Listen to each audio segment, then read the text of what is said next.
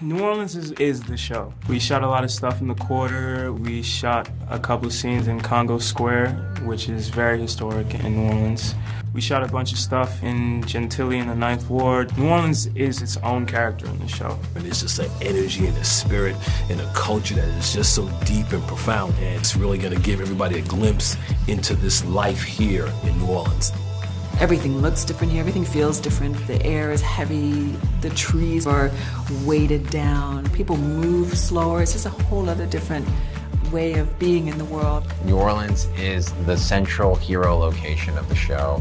It's so mystical and magical. It's an incredible city. I think it works perfectly with the show, with it being so stylistic and it has so much character to it. Just the energy just kind of helps lift this show to the right tone and place where it needs to be.